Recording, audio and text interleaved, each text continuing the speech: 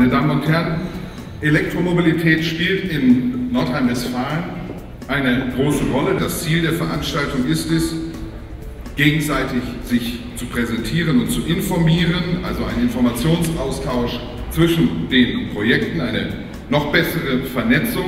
Wir wollen im Verkehrsbereich bis zum Jahr 2050 40 Prozent der Energie, die wir im Verkehrssektor verbrauchen, einsparen.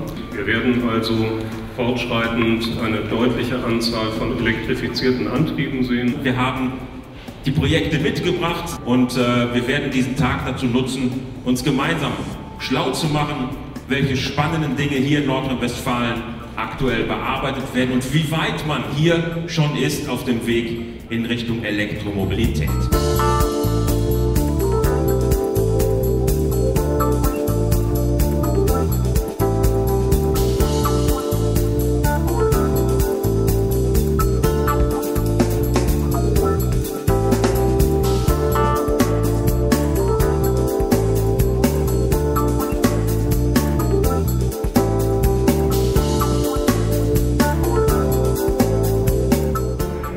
Nordrhein-Westfalen Vorreiter werden und äh, wir wollen Elektromobilität nicht als singuläres Ding verstehen, sondern als äh, eine gemeinsame Aktion von Kommunen, von Industrie, von Wissenschaften.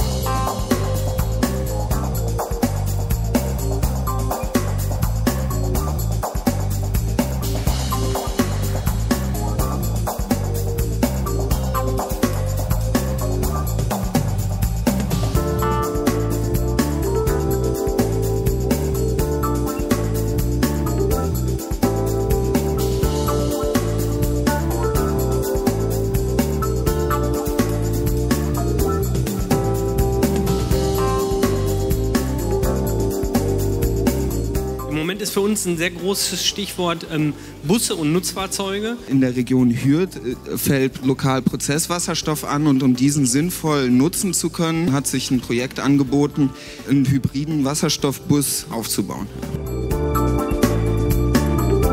eConnect, dieses Forschungsprojekt, ist entstanden äh, aus der Stadtwerkewelt heraus und wir arbeiten und forschen für Stadtwerke. Es geht ähm, um die zuverlässige Anbindung von Elektrofahrzeugen in diese zukünftigen äh, Smart Home Infrastrukturen.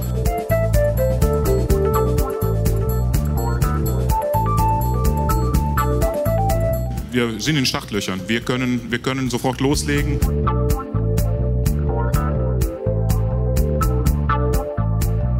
Also ich bin ganz positiv überrascht äh, von der Vielfalt der Informationen, die man hier bekommen kann, dem Austausch der verschiedenen Akteure und natürlich auch von dem Medieninteresse, denn das wird entscheidend sein, dass wir in der Öffentlichkeit darstellen. NRW ist ein toller Standort für das Thema Elektromobilität und äh, wir dafür sorgen können, dass die Bürgerinnen und Bürger ein noch steigenderes Interesse daran haben, vielleicht auch selber Nutzer von E-Mobility zu werden.